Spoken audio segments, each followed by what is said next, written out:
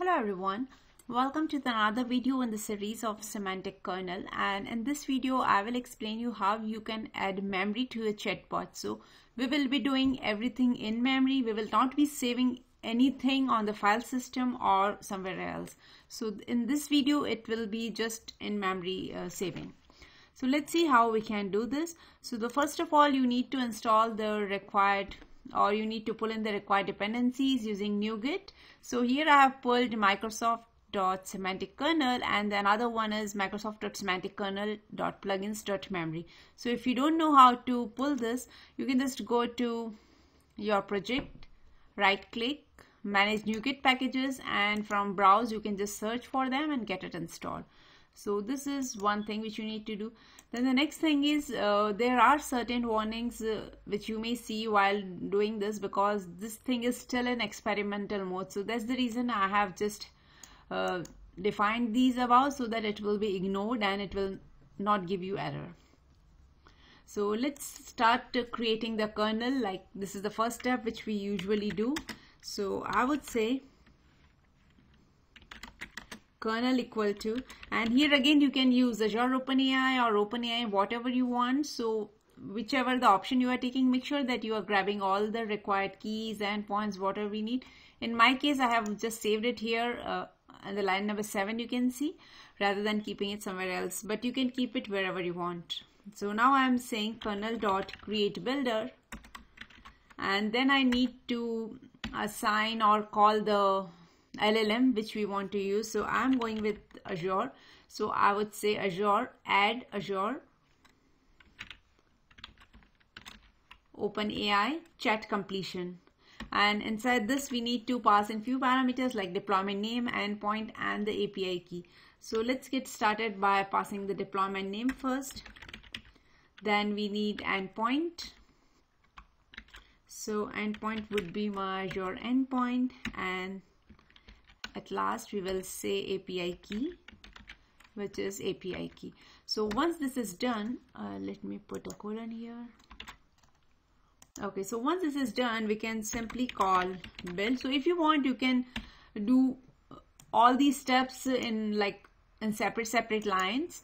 I'm just doing it in one shot. So if you're planning for separate line, what you can do is you can just put here semicolon, then use this object and then just keep constructing this chain. But I'm just doing it in a single chain. Now next thing is we need to define some execution settings like what all parameters you want to pass like temperature max length of your prompt and what all. So those all things you can define here under execution settings. So here we will say OpenAI a new OpenAI prompt execution settings. And under this you can define whatever you want whether it's your temperature top K. So I will just go with the bare minimum. I'm expecting my response in just 200 max token. So I'm just mentioning it here. Now let's say if you want to use OpenAI rather than Azure OpenAI so you can use the respective class. So in that case you have a class name like add OpenAI chat completion so this is a class which you can use it. But let's go ahead with Azure OpenAI because I have already grabbed my keys for that. So now we have our kernel ready. We have our execution settings ready. Next thing is we need to define the prompt. So for defining the prompt, uh, what I'm saying is chatbot can have a conversation on any topic and then I'm providing the history and then I'm providing the user input. So history is nothing but it is like the collection of what user is saying and what what is responding. So this is the combination which we are going to save as a history. So next thing is once we have this prompt defined, so make sure that you have this correctly defined wherein you are having both these parameters, one for user input and another one for maintaining the history. Definitely you can change these variable names and keep it as per your need. Then once we have the prompt ready, what we need to do is we need to uh, call the semantic function. So for that, we'll create a variables variable name chat function which will use kernel dot create function from prompt. So this is how we used to create. So I will provide a prompt and then I will specify my execution settings as well once this is done let's define some empty thing or the default history I would say. And here we can say string dot empty.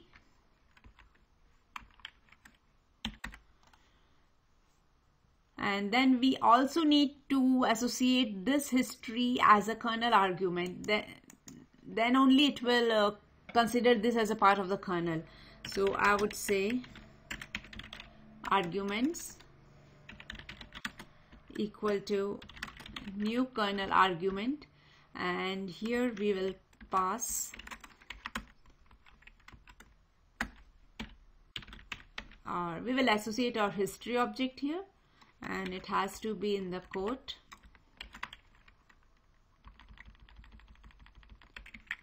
So let me correct it okay. And here I will just assign this history. Okay so this is uh, what we need to do. And the next thing is uh, if you want to just do one conversation then history doesn't make any sense. So for maintaining the history you should have multiple to and fro conversations. So it means that you may have a long conversation. In that case we can just write a function or we can just write a loop which will go infinitely until unless we will write some stop sequence or some keyword where we want this to stop. So to make this thing because if we are writing for every statement there would be multiple lines of the same type. So rather than doing that we'll just construct a func and then we'll call that particular func wherever we want to invoke this conversation. So let's define that. It is going to take string and we'll be returning task because this would be an asynchronous call so we'll say chat with me. Inside this I will simply pass in input.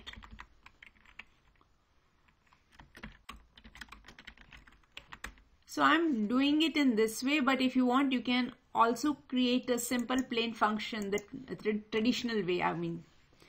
And now uh, we are going to associate this user input with our kernel argument so here I would say user input. You can name any variable which you want to associate with the kernel but make sure to assign the same variable which you are getting as an input from here. So I would say input. Then we need to invoke the function. So for that I would say var response var response equal to await chat function dot invoke async. And in this we need to pass kernel and arguments. Okay. Next thing is we need to combine the user uh, input and the LLM's response. So for that we need to construct a string. So I would call it as a result. Then let's use dollar sign to concatenate the string. And then I would say user. So this is the statement made by the user. Uh, so it would be input here. And then we need to write the same thing for the response. So this is the response. Let's put slash n.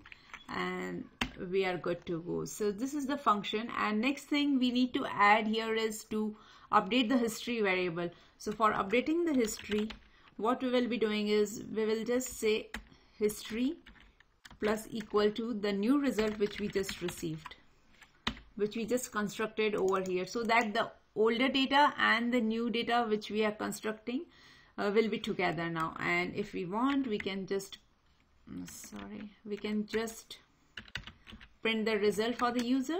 So console dot write line and the result. We don't want to show the entire history to the user so we will just be displaying the result.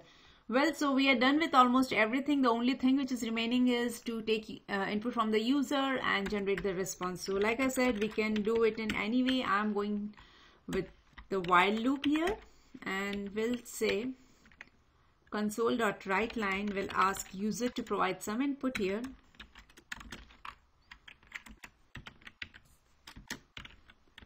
And I'm creating a new variable user input where we will be reading users input and now we are good to call our function which we just created about chat with me and it is going to take user input as a parameter.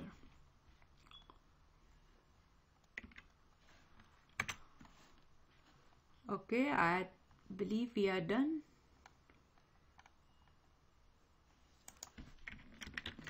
the one thing which we need now it is infinite loop so definitely we need some stop condition or the terminal termination condition. So we'll say if user input equal equal exit then just come out.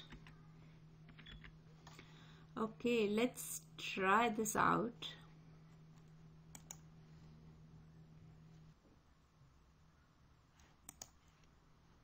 Let's run it and see how it is. Can you tell me some free time activities?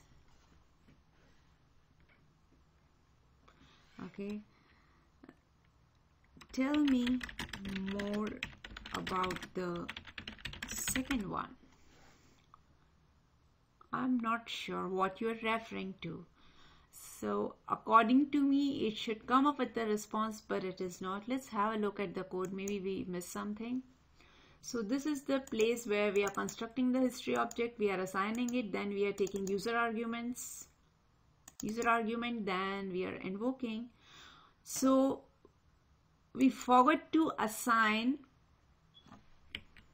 or update the history back in the arguments. So uh, I believe that is the reason why it is not able to remember.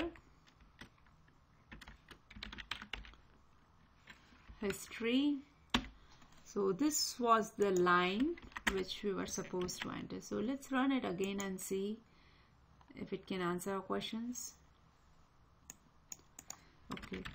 Can you suggest me some free time activities.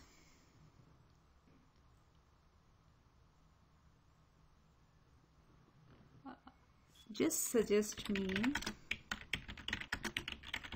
on your interest.